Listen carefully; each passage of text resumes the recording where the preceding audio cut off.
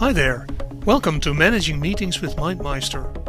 I'm Ton Meeuwissen and I'm going to show you how to conduct effective meetings with MindMeister. So let us first have a look at some reasons why we should use electronic mind mapping in meetings at all. Well, the first reason is that everyone is involved because we use a beamer and a screen and not someone who's taking notes. There's also overview because you can see all the agenda points, you can see the documents, you can see the action points, and it's very easy to capture and distribute all the action points. So after the meeting, all the minutes and action points are immediately available. So that really saves time. So why should we use MindMeister then? Well, MindMeister is a web-based mind mapping tool, and it means that you can collaborate with others through the web. It's also very easy to use, yet it's very powerful. And it has some special features, like you can be reminded by email, uh, you can synchronize your tasks with Outlook or iCal, and there's Geistesblitz. I'm going to show you that later on. So after this brief introduction, let us now start to begin to build our meeting mind map from scratch. And I'm going to show you how the features of MindMeister really fit in.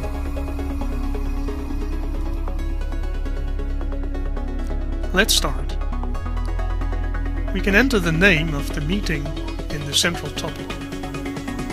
The first main topic can be used for, let's say, the objective of the meeting. The second main topic we're going to use for the general details. General details are things like the date, time and the place of the meeting, but also a list of attendees or special remarks.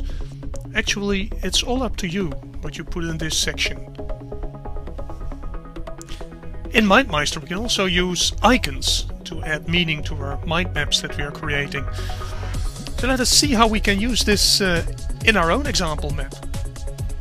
So first of all we have to choose the topic, then we have to click on the icons button and then we can choose the appropriate icon. So select the topic, click on the button and select your icon. That's all there is to it. You can see it immediately adds meaning to your mind map. In the next main topic we're going to enter the agenda points of our meeting. Let's start with the approval of the minutes of our last meeting. And of course we can enter as many agenda points if we like. Also with the agenda points we can make use of icons. We can use icons to show the status of the agenda points. And that way we can easily see whether an agenda point is covered or not. Another interesting feature in MindMeister is the ability to add attachments, like documents, to your mind map. To do that, First, select your topic, then click on the Attachments button and then on the Upload link. The File Explorer window will open and you can choose your appropriate document which will be uploaded. Once uploaded, this will be signified by an icon and you can click on the link to open the document.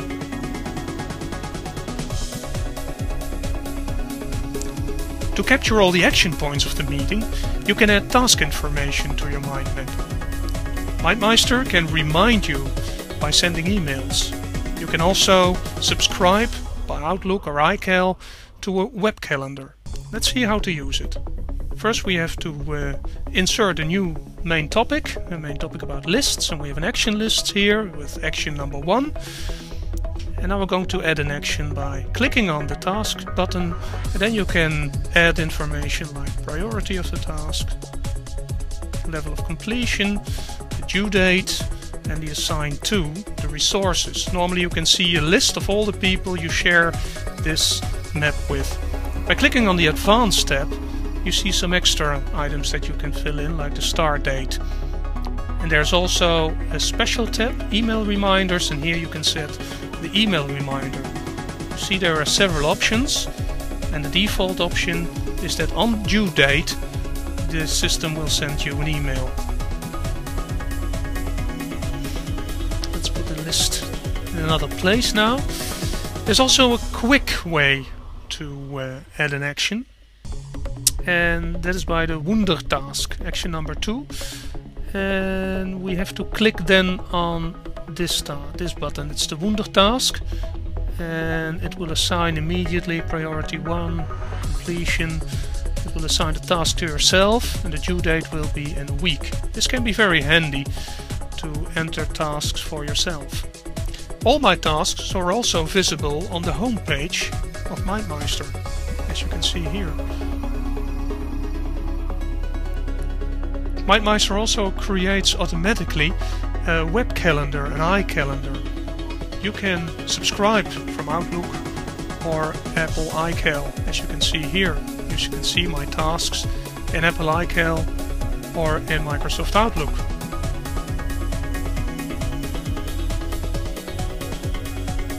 Now let us do a quick wrap-up of the things I've shown you in this little screencast.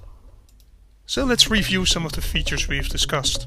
First there were the icons that could really add meaning to the map. We've also seen attachments that allow you to add documents to share them with your team members. We've seen task information to easily capture action points and task reminders by email or by synchronizing the web calendar by Outlook or iCal. And also other features like Geistesblitz. What is Geistesblitz? Well, let's have a look at it. So let us see what this uh, Geistesblitz is all about. I'm now in the uh, My Account section of my Meister, my MindMeister account. And as you can see here, you see the Geistesblitz email. I've turned it on, like you can see here. You can also turn it off. And here is the iCalendar task feed that I was talking about. Here is where you can switch it on or off. And here are the URLs, the URL for Outlook and the URL for iCal. Let's turn back to uh, Geistesblitz. This is Geistesblitz email. It's one of the possibilities of Geistesblitz. You can send an email to send uh, ideas to a mind map, or you can even send an email with a complete mind map. Let's see, there is an example. If I click on this link, you see an example of a email, how it would look like. You see here, this is my address. You can see the address on my account page. This is the name of the mind map, best news ever. And here you see the items of the mind map. And you see it's indented. You can indent it by using spaces or by tabs.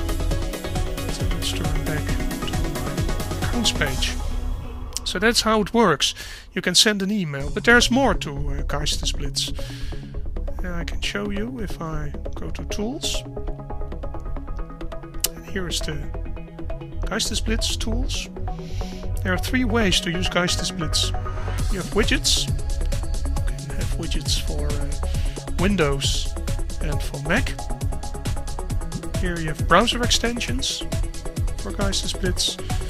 And here's the email and also SMS. When you want to use SMS, you have to use a Twitter account. So please have a look at uh, the MindMeister website, how it really works. The way it works is that it uses the default mind map. If you use a, a widget, it uses the default mind map. I'm going to show you how that works. Um, let me first enter or open a new tab and open Google. And here you see my MindMeister Geistesblitz widget. So if I enter an idea here, so let's go to London and I enter it, you saw this little flash of lightning that's the Geistesblitz, and that means that it's now added to my mind map. Now let's see if that's really true. I have to go to um, the MindMeister, to my maps, and then I. This is my default map. It works with the default map. So let's go to the default map. Let's open it, and you see. Let's go to London in my Geistesblitzes It really works very nice. And you can also do that with uh, email or even as a message So please have a look at it and see how it works for you. So, that's all for now. I really hope that you've enjoyed this little screencast about MindMeister. How MindMeister can really be an efficient tool in helping you to conduct more effective meetings and easily enables you to share all your documents and tasks with all your colleagues.